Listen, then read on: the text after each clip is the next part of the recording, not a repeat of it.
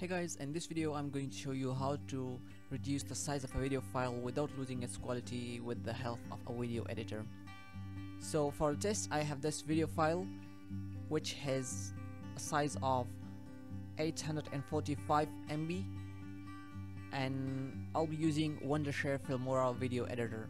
So if you don't have this video editor, download Wondershare Filmora, the link will be given in the description below. And after downloading it, open it. And then select 16 ratio 9 and full feature mode. Okay now let's import the media file which we want to compress. So in my case I have it on my desktop so I will import it from there. And you can choose yours. Okay now drag the video to the video timeline and then if you don't want to edit anything and you just want to compress the video size then click on export.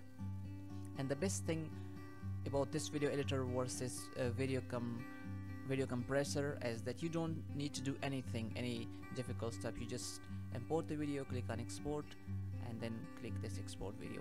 And then if you want to change the resolution if you choose if you lower the resolution it will minimize the video size by more than 60 to 70 percent. But if you want to keep the same resolution and make sure that the quality is on best but if you want to uh, keep the same resolution then it will be able to reduce the video size by about 50 to 40 percent.